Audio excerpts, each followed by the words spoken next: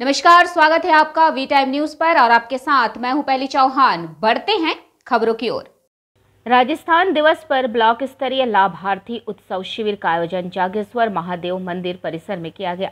राज्य सरकार द्वारा चलाई जा रही विभिन्न योजनाओं से लाभान्वित लाभार्थियों व जनप्रतिनिधियों की मौजूदगी में लाभार्थी उत्सव कार्यक्रम लाइव टेलीकास्ट के माध्यम से मुख्यमंत्री अशोक गहलोत की उपस्थिति में दोपहर 12 बजे प्रारंभ हुआ। जिसमें विभिन्न योजनाओं में लाभार्थियों ने सीधा संवाद किया।